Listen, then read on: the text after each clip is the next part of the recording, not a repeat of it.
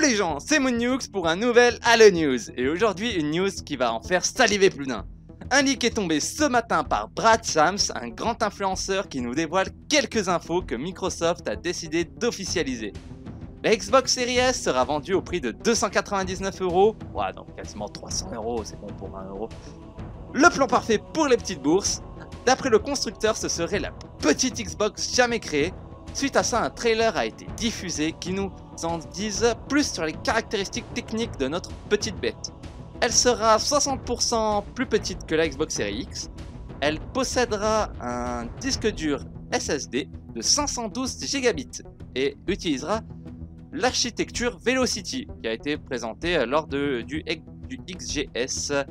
Malheureusement, elle n'aura pas de lecteur CD, tout, se tout passera par le digital, un peu comme euh, quand sur PC on utilise Steam.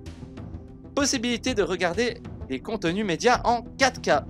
Et vous aurez bien évidemment plus d'infos sur l'article qui est dans la description. Nous n'avons pas toutes les caractéristiques de cette Xbox, mais nous pouvons supposer qu'elle sera légèrement moins puissante que la série X, qui elle fera tourner vos jeux tranquillement en 4K natif. C'est tout pour cette jolie petite news, j'espère que ça vous a plu. N'oubliez pas d'en débattre en commentaire, je les lirai tous, vous inquiétez pas.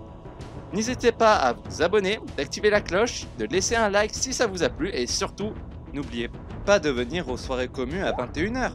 Ça fait toujours plaisir le dimanche soir. Allez, à plus et surtout, vive l'eau